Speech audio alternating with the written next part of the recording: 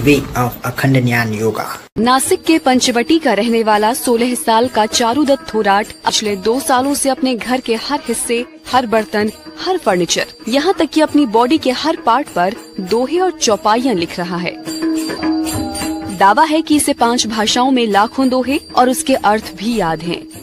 इस अनोखे घर को देखने के लिए दूर दूर से लोग पंचवटी आ रहे हैं। वो डेली छह से आठ घंटे इन्हें लिखने में बिताता है। दोहों के साथ साथ चारुदत्त ने घर में जीवन का सार बताने वाले विष्णु चक्र और ब्रह्मांड चक्र को भी बनाया है। इन दोहों को लिखने के पीछे चारुदत्त ने अपनी ईश्वर भक्ति को कारण बताया। उनके पिता ने बताया कि चारुदत्त ने कभी किसी धर्म ग्रंथ का अध्ययन नहीं किया है। इन्हें लाखों दोहे कंठस्थ हैं और ये किसी चमत्कार से कम नहीं।